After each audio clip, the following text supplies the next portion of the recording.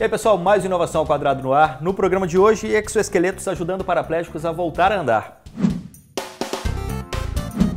Tem um novo exoesqueleto no mercado chamado Indigo Robotic, que recebeu a aprovação do FDA, que é a instituição nos Estados Unidos responsável pra, por aprovar tudo que é relacionado à saúde.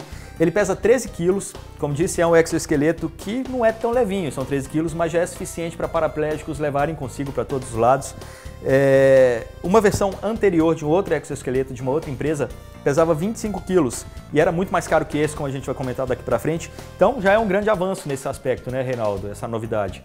É, principalmente é, quem já teve um membro da família né, com, com dificuldade de locomoção, que se tornou paraplégico depois de um acidente, sabe a, a dificuldade que é viver com essa condição. Então, a notícia boa é que é, tanto o modelo anterior da outra fabricante quanto esse agora foram aprovados nos Estados Unidos e na Europa. Né? Na Europa já está aprovado desde o final do ano passado.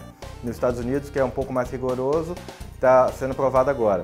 Esse exoesqueleto ele custa 80 mil dólares, é caro, né? o preço de um pequeno apartamento, vamos dizer assim, mas mais uma vez, para quem tem problema, é uma salvação.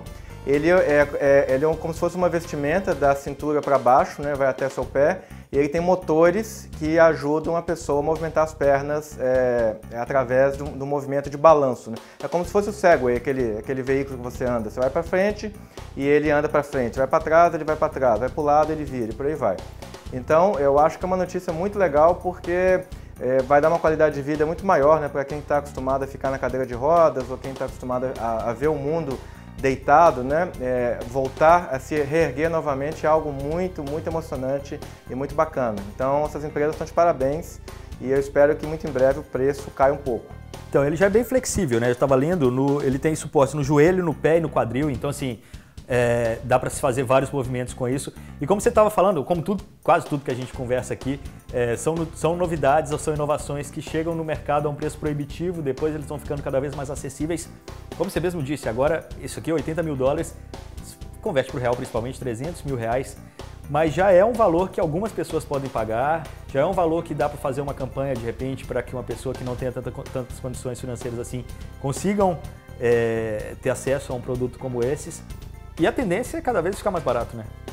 É, exato. Assim, mesmo que a pessoa não tenha condições, é, é, possível pedir doadores, fazer uma vaquinha, né? Tem até sites de crowdfunding que fazem isso. Então, assim, já é uma possibilidade que não existia há, há dois anos atrás. Então, já é um grande avanço. Eu acredito que ele, esse tipo de exoesqueleto, nos próximos cinco anos, ele vai cair para a faixa de uns 25 mil dólares porque a tecnologia usada, os motores e toda a eletrônica cai de preço muito rapidamente. Então ele vai melhorar de qualidade, deve cair para em torno de 25 mil dólares, que é um preço bem mais acessível, o preço de um carro ainda é caro para a maioria das pessoas, mas mais uma vez, se todo mundo ajudar, eu acho que é uma solução bem, bem bacana para as pessoas que não conseguem se locomover é, em, em, pé novamente. Uhum. Bom, exoesqueleto ainda não está sendo vendido no Brasil, mas ele já está disponível nos mercados dos Estados Unidos e da Europa. Se quiser saber mais a respeito, é só clicar nos links aqui junto ao vídeo, como sempre. De repente está aí uma boa solução para aquele seu querido que não consegue andar ou não pode andar mais, né?